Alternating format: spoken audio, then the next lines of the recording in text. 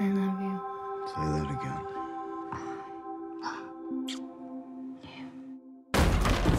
You're under arrest for the murder of Roland LeGrand. Got the wrong guy, pal. I was with her all night. Come on, let's go. This is a frame up. Hey, Papi, all right? Got any money? Get some. Never escape without it. Louis Dega. Guy's a millionaire. Won't last long. You got a lot of eyes on you, my friend. For a little bit of that money you're carrying, I could keep you safe.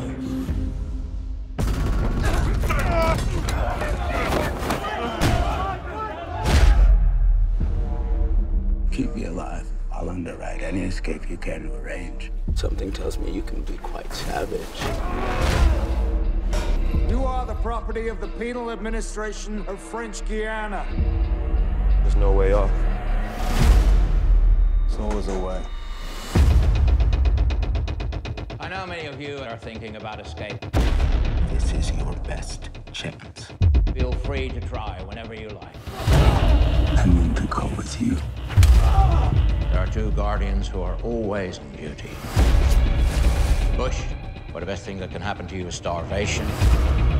Or you could choose the sea, He's my friend. where the sharks are always hungry. Manage to survive your first attempt, you'll get two years in solitary.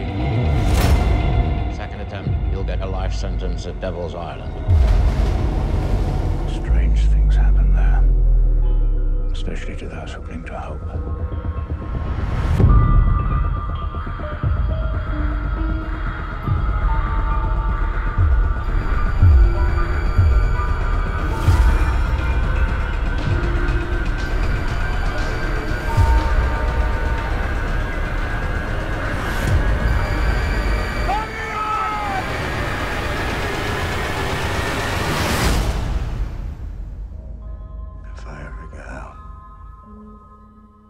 can I live a different kind of life?